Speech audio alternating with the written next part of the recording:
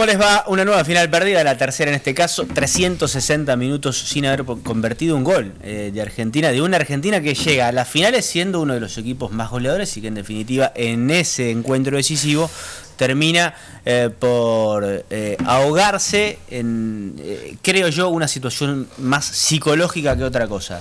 Fue la mejor de las tres finales que jugó Messi, sin lugar, sin lugar a dudas.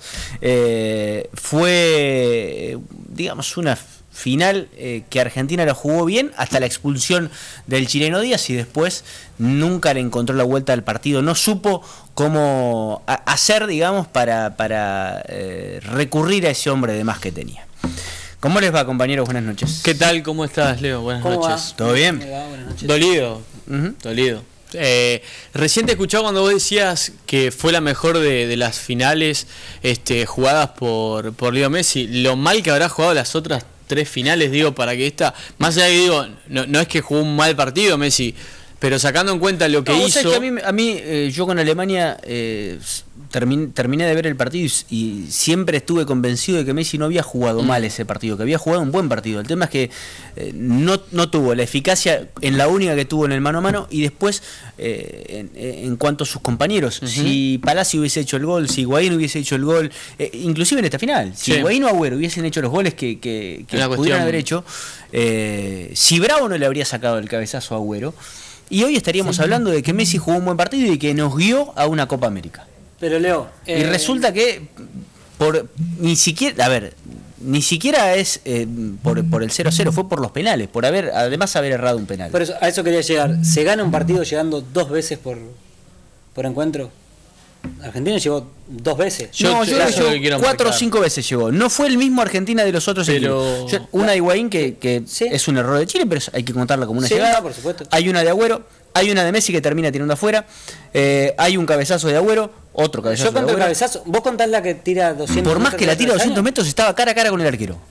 Después vos podés seguir mal. Yo, no, no, estaba dentro del área y estaba, no tenía ningún defensor, estaba cara a cara con el arquero. ¿Cuántos goles hizo Agüero? ¿Cuántos goles hizo Agüero así?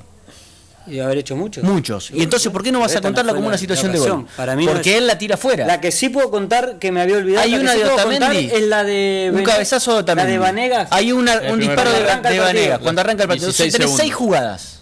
Seis jugadas. Si vos no querés contar las que se van afuera, no las contés. El penal de Messi no lo erró porque se fue afuera. Fue un penal. No, bueno, eso es, otro tema. Es una definición, es un penal. Sí, yo... yo creo que me parece que hay que contabilizar todo. Yo no, creo que Argentina que merecía ganar durante los 90 minutos. Yo creo que Argentina hizo méritos para ganar. Para mí no. Que Chile hoy es colectivamente mejor porque marca más es otra historia. Ahora, ¿cuántas veces llegó Chile al arco argentino? No, cuatro veces o Cinco veces.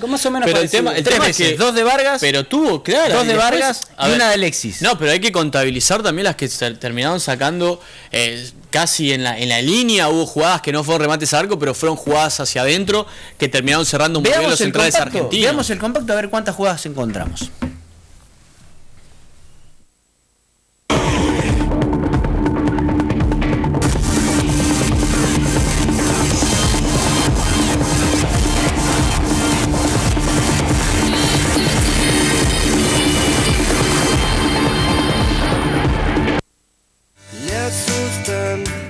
Eh, yo creo que llega el momento. Ahora, ni con la barba se, afeitará Messi, ¿no? Digo, ya... Vaya uno a saber. Yo espero que eh, este, estas palabras. Estas palabras llenas de vacío de Messi después del partido. Eh, espero que, hayan sido solamente en caliente. Estoy seguro que fueron en caliente, ¿no? Pero que hayan sido solo eso.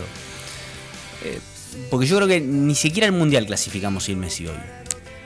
Por más que armes un equipo que vos digas, no, trae eh, este nuevo, este otro nuevo.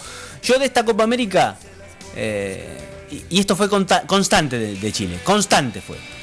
Esta Copa América, para mí a Argentina le sirve para haber encontrado. No, es situación, ¿no? no, no, no, pusimos la de Vanega tampoco. Ah, esto, es, esto es increíble. Es increíble. No, no, la, la... Para mí, manera cambia cambia eh, en el momento de la salida de Bravo. Exactamente. Para mí iba derecho a gambetearlo. Sin dudas. Derecho a gambetearlo. Mira cómo le hace el paso hacia adelante y se le tira ahí. Y yo creo que lo pasaba. Yo creo que lo pasaba, Bravo. creo que lo pasaba. No fue decidido, no, no, fue, no, fue, decidido Higuaín. Higuaín no fue decidido. Pueden decirme está perfecto, que salió bravo, que lo atoró muy bien, está perfecto. Pero no fue decidido. Bien. Para mí hay un error de, la lectura de la, de la salida de Bravo de Higuaín y, eh, son estas confusiones también de haber jugado tres finales, de la tercera final y es la segunda vez que te queda un mano a mano. Estoy seguro también que a Higuaín le pasó por la cabeza aquella definición, mala definición eh, contra Alemania, porque fue una jugada muy parecida, muy parecida. Eh, Estoy queriendo ver todavía alguna jugada determinante de Messi en el partido. Y tal vez no está en el compacto, porque Messi entró muchas, muy pocas veces al área. No, yo Ahora, Messi fue el tipo que se sacó cinco chilenos de encima.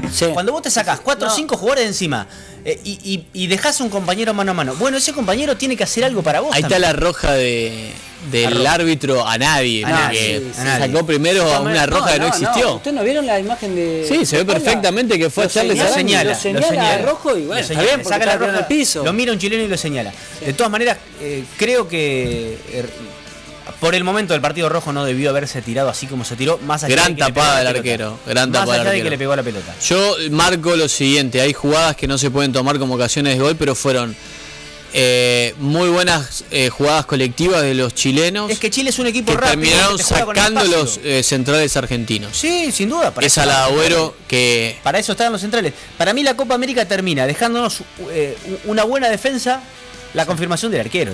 Después de tanto tiempo una buena defensa, una muy buena defensa, eh, con, con, Otamendi a la cabeza, eh, nos termina dejando, eh, la, para mí, Esa la, grata sorpresa de Nico Gaitán por izquierda y de Augusto Fernández por derecha, y necesitamos dos más de esos. Esta fue tremenda, esa fue la más clara, más, allá de... ¿Y por qué habrá jugado a Di María, no? Con el gran torneo que hizo Gaitán.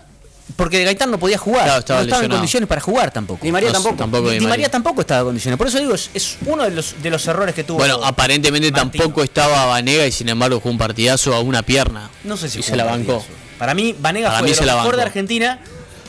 Este, en, cuanto al, inicio de la jugada, durante jugó como hay que jugar las finales. Y, jugó, este, sobre todo, en el segundo tiempo, cuando lo liberaron, cuando entró Craneviter que se soltó un poco más, eh, pudo tener más contacto con Messi. Yo creo que el, error de, Martino fue haberlo puesto a Biglia en la mitad de la cancha para controlar a Chile. Yo la verdad prefiero perder con Chile 3 a 2, 4 a 3, que terminar 0 a 0 en, una final. Yo creo que... lo hubiese puesto... Eh, a ver, yo no sé qué... No, no tenía muchas más opciones. Pero hubiese tratado de jugar... Si lo quería poner a Di María por un lado y lo hubiese puesto a, a la Mela por el otro. Ahí está el penal errado de, por derecha. de Biglia. Porque me parece que lo del penal es. ¿Qué va a ser? Mala suerte. Te puede salir o no. Eh, pero digo, eh, durante el partido, Argentina tuvo un equipo, yo reitero, durante eh, o hasta la final, y en la final armó otro equipo, con otro sistema. Yo, bueno, a, a eso quería llegar. Yo creo que el error más grande de la Argentina es haber entrado en la fricción y en el ritmo de Chile. Es que sin dudas. Se, armó un equipo para trabarlo a Chile, para que Chile no te gane con la presión, porque Chile venía de hacerle 7 a México y 2 a Colombia. Y eso se vio en el, en el alargue. Todos los jugadores argentinos necesitaban un masajista, los jugadores chilenos. No, no, no, pero estaban muy cansados los chilenos también. ¿eh? Eh, le leí los labios a Pizzi en un momento, le dijo a Rolly Carlen, estamos muertos. Para mí, había tres, o eh, cuatro jugadores, tres o cuatro jugadores que le, le sobraba le sobraba físico. Argentina debía ganar 90 minutos. Medel es un jugador Argentina, debía ganar y Argentina debía los 90 minutos tiene que haber ganado Argentina. Di María al 100% es un es un muy buen jugador que yo creo que en la mayoría de los partidos de la selección argentina juega para él. Y a veces te gana un partido. Mm. Y hay veces que, a mí, la verdad, hay muchas veces que digo, ¿por qué está en la selección, eh, Di María? y sé que es un jugador que te puede ganar un partido solo. yo creo que, te puede hacer dos, goles en un ratito. Un momento de recambio importante. Es un momento de recambio, sí, señor. Por ejemplo, los Agüero. Si querés sumar a Higuaín, no, yo Higuaín, a mí no me disgustó el trabajo de Higuaín durante a mí tampoco. Y yo creo que y, hace mucho que no se encontraba un 9. Tiene que haber tiene que haber un psicólogo. Este es el momento para que aparezca un psicólogo y que comience a hacer un trabajo con este grupo de jugadores con algunos que seguramente van a venir para sacar esos fantasmas de las finales. Alemania, atención porque Alemania perdió eh, tres o cuatro finales y perdió en cuartos de final y perdió en semifinales para después ser campeón del mundo. ¿Mm? No es fácil llegar a tres finales consecutivas. Eh, Martino y Messi hablaron después del partido, esto fue lo que dijeron.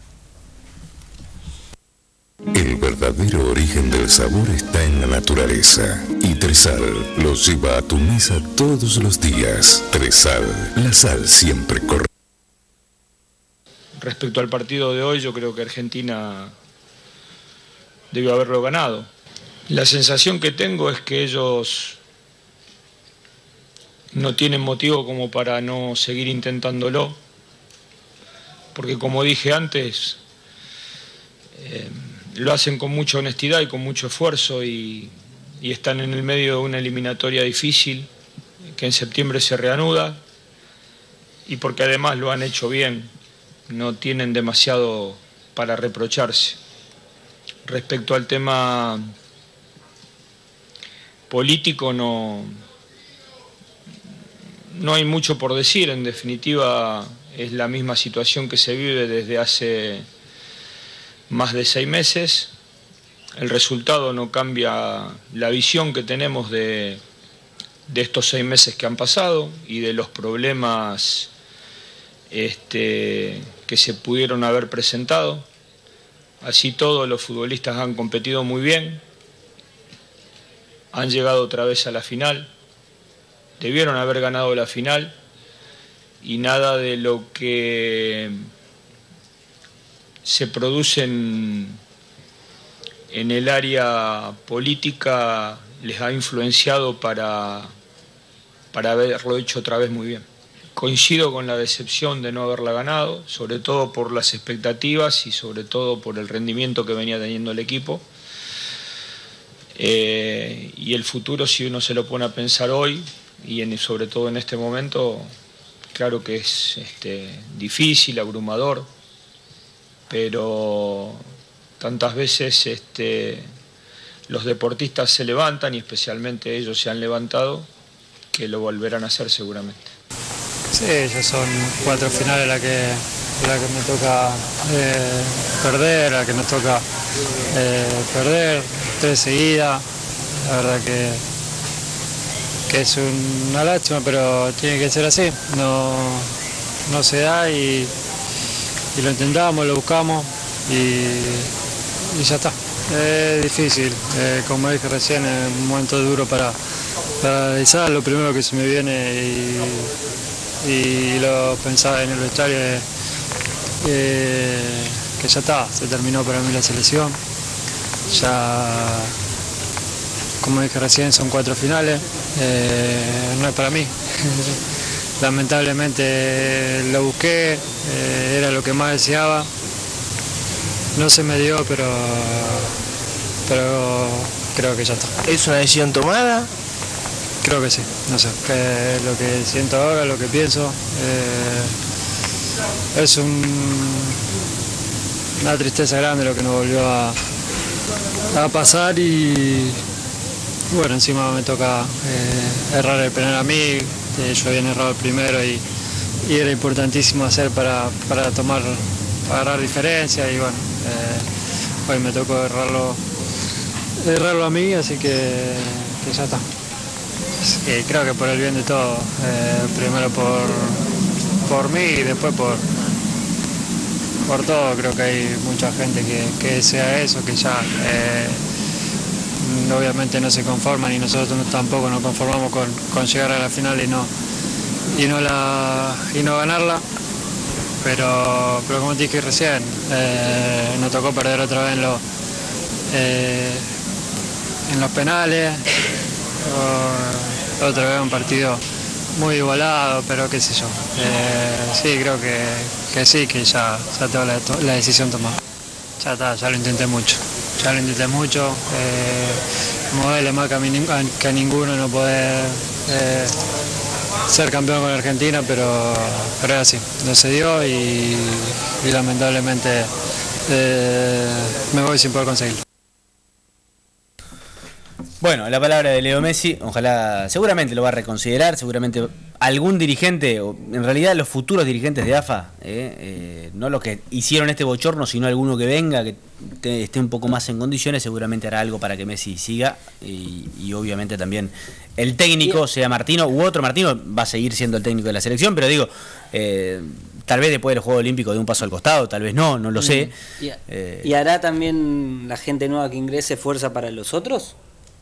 Que dijeron hoy que podrían dar un no, yo calculo que algunos van a algunos van a quedar afuera. Bueno, Yo- pero eso tiene que ver con Martino, básicamente. Sí. Bueno, no, pero si renunciás, renunciás. Es que Messi fue uno de los grandes gestores cuando eh, Mascherano había tomado la determinación prácticamente Sí. de irse la- de la selección argentina. Messi fue el que de alguna manera Le- lo termina sí. convenciendo a Mascherano Bueno, que continúe. Ayer, ayer Romero fue muy clarito, dijo, en el vestuario hablamos, dijimos que nadie tome decisiones apresuradas hasta dentro de 15, 20 días. Bueno, en muchos casos no lo hicieron, salió Messi a los 15 minutos y, Ujú. y Bueno, eh, hoy se hizo un homenaje a Neri Alberto Pumpido por eh, el campeonato del 86, los 30 años que se cumplen de ese campeonato. Vamos a ver y escuchar la palabra del campeón del mundo.